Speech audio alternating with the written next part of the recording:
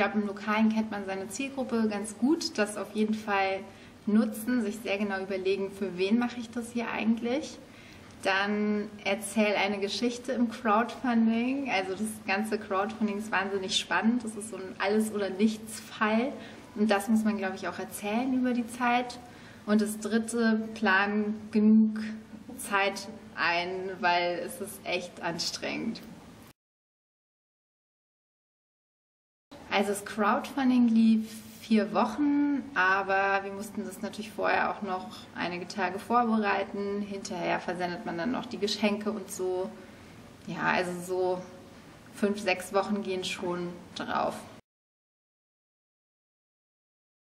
Also bei bestimmten Geschenken muss man, glaube ich, darauf achten, dass der Aufwand im Verhältnis zum Nutzen steht. Also da hatten wir zum Beispiel so ein Video, was wir als Geschenk vorher angepriesen haben, was halt super viel Arbeit war im Nachhinein. Da würde ich, glaube ich, vorher nochmal genau überlegen, wie viel Arbeit steckt man in so ein Geschenk.